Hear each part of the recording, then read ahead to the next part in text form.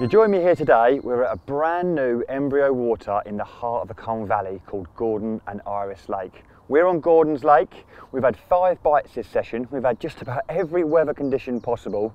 But one thing we haven't had is any problems from the crayfish that this lake is known for. And that is all because of a few minor tweaks in my approach.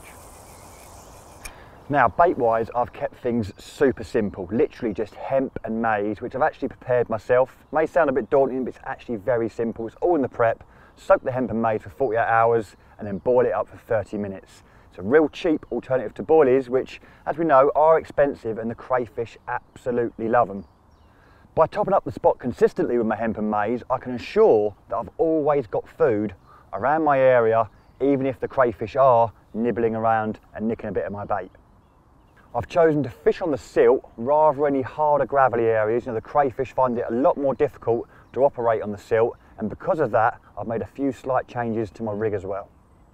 Now I've gone for a slightly longer hook than what I'd normally fish because of the spot that I'm fishing on. As I mentioned I want to be fishing in the silt or silkweed rather than the gravel so a 10 to 12 inch hook link of IQ2 in 15 pound is going to nestle down and kick away lovely my critically balanced pop-up. Now I want to steer away from things like tungsten, so tungsten tubing, tungsten hook link materials, tungsten anti-tangle sleeve, and tungsten for counterbalance as well. I don't know why, but crayfish absolutely love tungsten. So if I've got any of them components on my rig, they are going to absolutely hammer it and make my rig less efficient than what it was when I put it out. Now, as we've seen in a lot of the underwater footage, it's extremely important that our rig kicks away on the cast, we don't get any tangles, it resets if any carp were to come along and reject the rig, but more importantly in this scenario, if the crayfish were to come along, play with the rig, it's going to reset, ready for the carp. Hook bait choice, I'm actually fishing an artificial double grain of maize with a little bit of foam in the middle just to add a little bit of buoyancy to pop up my size 4 crank. Now I've caught loads of carp on spinner rigs and fake bait so I'm full of confidence and I'm not changing my rig too much just because there's crayfish in the lake. Now if I did want to opt for more of a boilie approach you know and I wanted boilie in my mix I wanted boilie on my hair I would definitely think about super wrapping it you're going to get a lot more longevity out of your hook bait. But bearing in mind if there are loads of crayfish in the lake they can still get to your hook bait. So it's really worth bearing in mind how many crays are in the lake to distinguish what hook bait you're going to choose.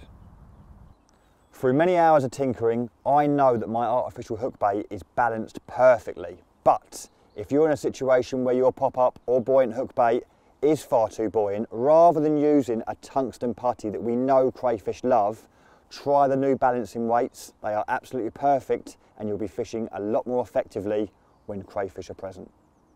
As I mentioned earlier on, I'm using a size 4 crank, but that is straight out the packet, not a Kamakura.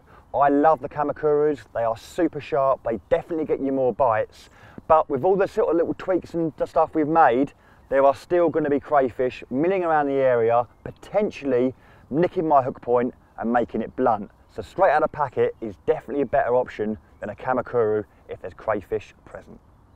Now I've had a lovely session over here on Gordon's Lake. It is definitely a lake for the future. There'll be so many lovely carp in here in years to come. If you want more information, head over to the Embryo website. It's all on there for you to digest. And remember, if you have got crayfish in your lake, stick to the silt or silkweed, get on them plastic hook baits, get a bit of hemp and maize in your mix, and you'll be fishing a lot more effectively.